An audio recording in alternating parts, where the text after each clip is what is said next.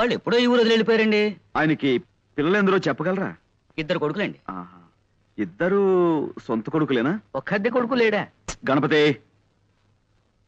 ఆ పిల్లల పేర్లు ఏమిటో చెప్పగలరా? ఒకడు కళ్యాణ్ అండి. ఒకడు ప ఒకడు పట్టాబండి పట్టాభి నేను కలిసి చదువుకున్నామండి. చూడు మాస్టారు ఇద్దరు పిల్లలు ఉన్నా గాని ఒక్కోసారి ఓ పిల్లాడి మీదే తండ్రికి ఎక్కువ ప్రేమ ఉంటుందంటారు. ఆ విధంగా రాంకోటి గారు ఎవరిని ఎక్కువగా చేరదీసేవారో చెప్పగలరా? అంటే ఆ విషయం అయితే రామకోటి గారు పట్టాబంటేనే ఎక్కువ ఇష్టపడేవారండి. రెండో వాడు కళ్యాణ్ ఈ విషయంలోనే పట్టాభితోనూ ఒక్కోసారి నాతోనూ కూడా పోట్లాడేవాడండి. వెరీ గుడ్ ఇప్పుడు కళ్యాణ్ ఎక్కడుంటున్నాడో చెప్పగలరా? వైజాగ్ ఎలక్ట్రిసిటీ డిపార్ట్మెంట్లో పనిచేస్తున్నాడండి. ఆ మధ్య నా దగ్గర రెండు వందలు అప్పు తీసుకున్నాడు. తిరిగి పంపించేశాడండి. ఎంఓ ఫారం మీద ఫ్రమ్ అడ్రస్ చూశానండి. పిల్లాన్ని సంకలో పెట్టుకుని ఊరంతా వెతికినట్టు చంటబ్బాయిని వైజాగ్లోనే ఉంచు నేను ఊళ్ళు తిరిగాం? చంటబ్బాయి ఎవరండి? అదో కేసులేండి దాని గురించే. ఏమిటండి? ఆ, అది ఆ చంటాబాయ్ అని మేము సినిమా తీయబోతున్నాం. అందులో హీరోగా కళ్యాణ్ బుక్ చేద్దామని ఆ ప్రయత్నంలో. ఏమండి ఏమండి? మీరు సినిమా తీస్తున్నారండి. ఏమండి? నమస్కారం అండి. నా పేరు విశ్వనాథ్ ధమ్ అండి. చాలా నాటకాలు వేశానండి. ఎన్నాళ్ళుగానో ఒక్క సినిమాలో యాక్ట్ చేయాలని చాలా కోరిక ఉందండి. అయ్యా, ఒక్క చిన్న బిట్ యాక్ట్ చేస్తాను. అదే మనం తర్వాత కలుసుకుందాం బాబు బాబు కాదనకండి. బాబు బాబు. ఆ, మీరైనా చెప్పండి. నమస్కారం బాబు, అండి. బాబు, ఇదిగో, నమస్కారం అండి. మాకు ఒక్క చాలా చిన్న అర్జెంట్ బిట్ పని యాక్ట్ ఉంది. చేసి మన త- చూపిస్తానండి. ఒక్క చిన్న బిట్ అండి. ఒక్క చిన్న బిట్ అండి. చిన్న బిట్ అండి. All right. తమరు ఎప్పుడైనా గుడ్డివాడి పాత్ర వేశారా? లేదండి మీరు చెప్తే చేసేస్తానండి. అలాగే. అది ఆకలితో బాధపడుతున్న ఓ గుడ్డివాడు ఎలా అడుక్కుంటాడో మీరు నటించి చూపిస్తారా? నటిస్తానండి. బాగా ఆకలితో కదండి. అయ్యా! బాబు! ధర్మం చెయ్యండి బాబు! ఒక్క ఐదు రూపాయలు ధర్మం చేస్తే అజంతా హోటల్లో చికెన్ బిర్యానీ తింటాను బాబు! తండ్రి! అమ్మా! బాబు! ధర్మం చెయ్యండి బాబు! అనాథ బతుకు బాబు! తల్లి తండ్రి లేనివాడు! వాళ్ళేరి? ఎవర్రా వాళ్ళు? అదే సినిమా తీస్తానన్న వాళ్ళు సినిమానా నిశ్చార్థమా అడ్డగాడిదా? ఏ మేమంతా చచ్చామనుకుంటున్నావా? అనాథ జన్మంటే అడుగు తింటున్నావు ముప్పొద్దున మూడు కుంభాలు లాగిస్తూనే ఉన్నావు కదరా? అది కాదు నాన్న. వాళ్ళు సినిమాలో వేషం ఇస్తానంటాను కొంచెం యాక్ట్ చేసి చూపిస్తున్నాను. పా! సినిమాలో వేషాలు వేసుకుంటూ అడుగు తింటూ బతుకు. నా కొడుకు పుట్టగానే టీవీ చూసి దడుచుకుని చచ్చాడు అనుకుంటాను. పా! నాన్న! నాన్న! హలో! వైజాగ్! కొడి? ఏంటి? కోడి గుడ్ల రేట్ ఎంత వంద రూపాయి. బాగా డౌన్ అయిందయ్యా. ఫోన్ పెట్టాయి పెట్టాయి అమ్మా హలో హలో ఆపరేటరు. అమ్మా చూడమ్మా. మధ్యలో లైన్లోకి ఎవరెవరో వచ్చేస్తున్నారు. ఇస్తారా. హలో హలో నిశ్చలేరా నేను మాట్లాడుతున్నాను. నేను రాజమండ్రి నుంచి అండి. అదే జేమ్స్ పాండ్ జే అబ్బా షేక్స్పియర్ కానండి బాబు. జేమ్స్ పాండ్ జేమ్స్ కాదండి పాండ్ రంగారావు అండి. హలో. మన చంటబ్బాయి ఎవరో ఈవేళ తెలిసింది. ఏమిటి? చంటప్ప ఎవరో తెలిసిందా? నేను వచ్చి మీతో మాట్లాడతాను. నేనే నే- నేను ఇప్పుడేం మాట్లాడలేనండి. తర్వాత తర్వా- అరవకపోతున్నానండి బాబు. అమ్మా అరిపించి అరిపించి మనిషి అరుగుదల శక్తిని పెంచుతున్న ఓ టెలిఫోన్ డిపార్ట్మెంట్. నీకు నా అమ్మా.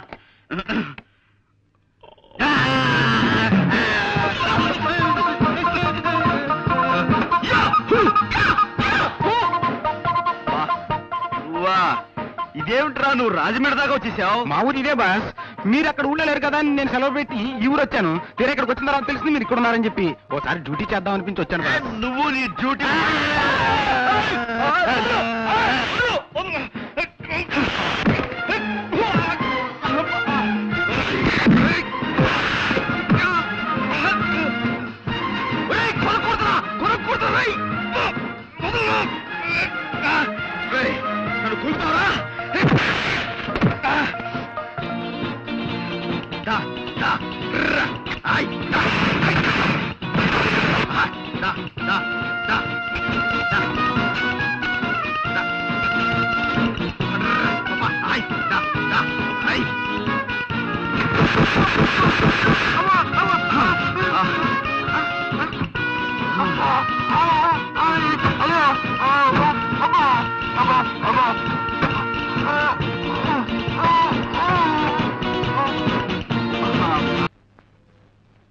నమస్కారం ఎన్టీఆర్ గారు. నమస్కారం ఎవరమ్మా? ఈ వారం మన ఆంధ్రవిని ముఖ చిత్రం అద్భుతం. కొత్త సీరియల్ చట్టబతుకులు నా హృదయాన్ని ఆకట్టుకుంది.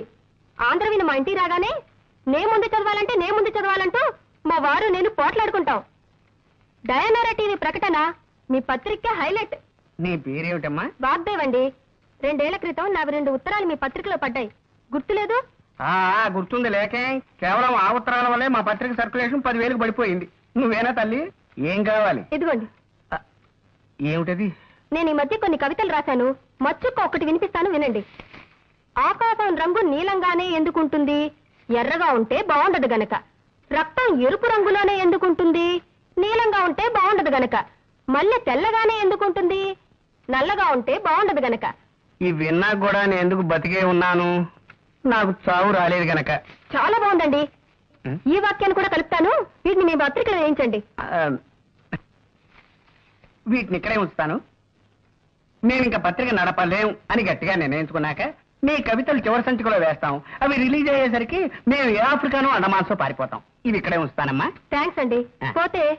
ఎవరు పోతేనమ్మా? నేనా? ఇది కాస్త తినండి. పోవడానికేనమ్మా?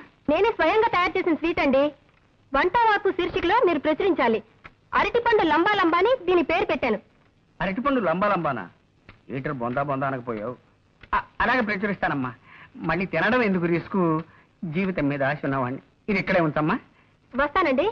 వచ్చేసారి ఇంకొన్ని కవితలను సీటు తెస్తాను. మళ్ళీ మీరు ఎప్పుడు వస్తారో ముందుగా చెప్తే ఆ రోజున సెలవు పెట్టుకుంటాను.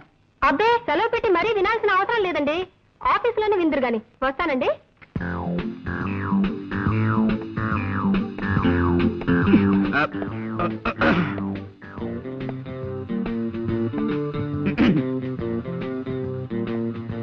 ఎవరు? Call me Bond James Bond Pond's పౌడరా మాకు అక్కర్లేదు ఎక్స్క్యూజ్ మీ నేను పౌడర్ అమ్మేవాడిని కాను నేరస్తుల పౌడర్ చేసేవాడిని.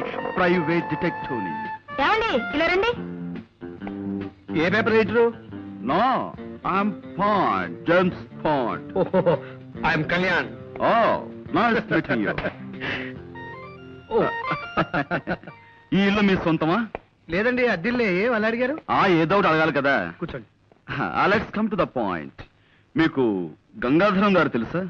ఏ గంగాధరం? యు ఆర్ రైట్ ఏ గంగాధరమే? ఆయన ఈ ఊళ్ళో పెద్ద business magnet. Devayani asbestos limited Gangadharam textiles సెమిస్టార్ sugars ఇలాంటి పెద్ద పెద్ద కన్సర్న్స్కి ఆయన ఓనర్. విన్నాను. ఏ? ఆయన నాకు అప్పగించిన పని మీద మీ దగ్గరికి వచ్చాను.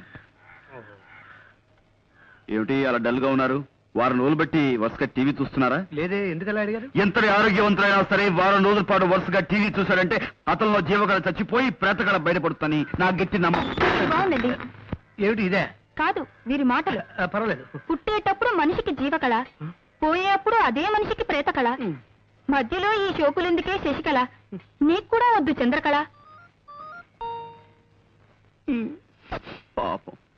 నా బతుక్కి ఒక మరకల. నా గుండె మీద చురకల. నా జీవితం అనే పాలగిన్నె మీద ఇంత మందంగా కట్టిన తొరకల. మీరు కూడా కదా కాదండి ఇన్నేళ్ళు ఆమె సాహిత్యంలో మలమలా మారిపోతూ వలవలా ఏడుస్తున్న ఆవిడికి దిక్కుమాలిన మొగుణ్ణి. ఐసి నాకిప్పుడు అర్థమైంది. మీలో జీవకళ చచ్చిపోవడానికి కారణం టీవీ కాదన్నమాట. నాతో ఏదైనా పన్నెండు వచ్చారా ఎస్ మీకు పెద్ద కథ చెప్దామని వచ్చాను. కదా? ఆ, అది మీ టైపు కథ కదమ్మా. ఏదో చిన్న కథ.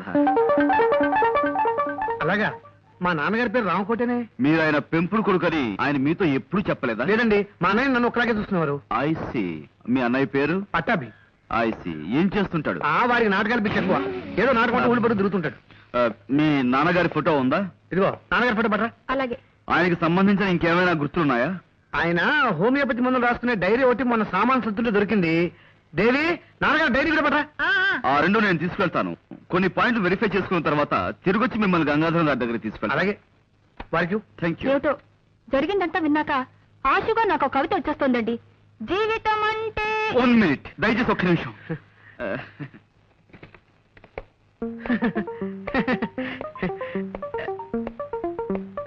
ఏ చెప్పుకోండి. వీడే రామకోటి ఈ చేతిరాత గుర్తుపట్టగలరా? ఇది వాడిరాతే వాడు రాసిన ఉత్తరాలన్నీ ఇంకా నా దగ్గర భద్రంగా ఉన్నాయి. అవును ఇవన్నీ ఎక్కడ దొరికినాయి నీకు? కళ్యాణ్ అనే ఒక అతను ఇక్కడే ఈ ఊళ్ళోనే ఇంజనీర్గా పనిచేస్తున్నాడు. అతనే మీ చంటి అబ్బాయిని నా ఉద్దేశం. ఈ ఊళ్ళోనా? చూసావా అమ్మా? ఒళ్ళో బిడ్డ నుంచుకొని ఊరంతా వెతికినట్టుంది. ఆ, మరి వాడిని తీసుకురాలేదేమయ్యా? సార్ ఏ విషయం ఒకటికి రెండు సార్లు వెరిఫై చేయందే నేను నిర్ధారణకు రాను. మీతో సంప్రదించి మీ చంటి అబ్బాయిని సాయంత్రం మీ ఇంటికి తీసుకొద్దాం అనుకుంటున్నాను. అలాగే తప్పకుండా వాడై ఉంటాడు.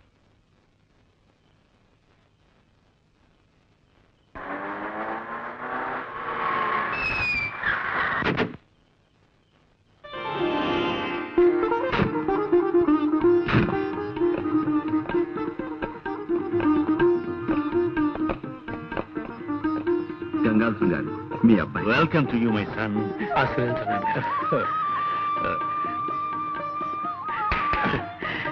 బాబు thank you thank you very much మీ కోడలు వాగ్దేవి. గాడ్ బ్లెస్ యూ బాబు నా చేతుల మీదుగా మీ పెళ్ళి జరిపించవలసిన వాడిని. ఇన్నాళ్ళు నేను దూరం చేసుకున్నందుకు సిగ్గుపడుతున్నానయ్యా. ఇప్పటికైనా మీకు దగ్గర ఎందుకు చాలా ఆనందంగా ఉంది నాన్నగారు? You are great my son you are great friends this is my son Kalyan బాబు నీ చెల్లెలు డాక్టర్ నిశ్చయ హలో. బాగున్నావు? రండి లోపలికి వెళ్దాం. రా బాబు.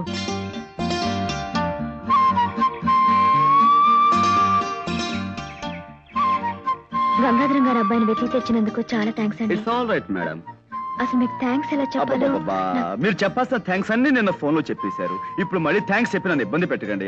చూడండి నేను ముఖ్యంగా ఇక్కడికి వచ్చింది మీ థ్యాంక్స్ అందుకోవడానికి కాదు. మిమ్మల్ని ఇంటర్వ్యూ చేయడానికి ఇంటర్వ్యూనా ఎందుకు? ఎస్ మీ నుంచి కొన్ని సమాధానాలు రాబట్టి అవి నేను కోర్టులో పుటప్ చేయాలి.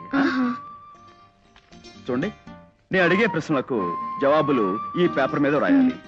మొదటి ప్రశ్నకు సమాధానం ఇక్కడ రెండో సమాధానం ఇక్కడ మూడో సమాధానం ఇక్కడ నాలుగో సమాధానం ఇక్కడ. ఓకే. తీసుకోండి. ఎలా రాయడం? మీరు ఆ ప్రశ్న అడుగుతారు నాకు తెలుసు. తెచ్చా టేబుల్ తెచ్చా. ఎక్కడ? ఇక్కడ. రాసుకోండి. రెడీయా? ఆ, మొదటి ప్రశ్న. మీరు టెలిఫోన్ క్లీనింగ్ సర్వీస్లో పనిచేస్తున్నారు కదా? అవునండి. రాయండి. ఆ. ఈ కేసు విషయంలో మీరు ఎవరిని బాగా నమ్ముతున్నారు? ఆ, పాండురంగారావు గారిని. తెలుసండి. అది రాయండి.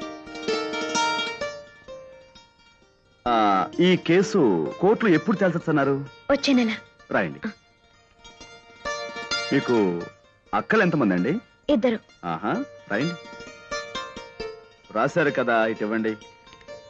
ఇప్పుడు మీరు ఏ ప్రశ్నలకి ఏ జవాబులు రాశారో మీ కళ్ళతో మీరే చూద్దరు కానీ? చూడండి. మీరు ప్రేమిస్తున్నారు కదూ? అవును. ఎవరిని? పాండురంగారావు గారిని. తిప్పండి. మీ పెళ్ళెప్పుడు వచ్చే నెల? మీకెందరు పిల్లలు కావాలి? ఇద్దరు.